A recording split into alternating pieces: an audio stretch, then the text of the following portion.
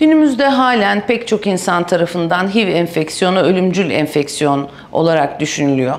Oysa Dünya Sağlık Örgütü listesinde ölümcül değil, e, ömür boyu eşlik edecek hastalıklar listesinde çoktan yerini aldı.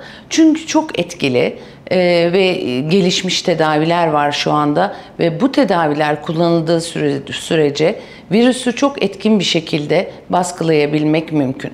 Tedavinin ömür boyu sürdürülmesi bir kural ama bu demek değildir ki öldürücü olmadığı için korunmaya gerek yok. Korunma mutlaka çok önemli, altı çizilmesi gereken bir konu.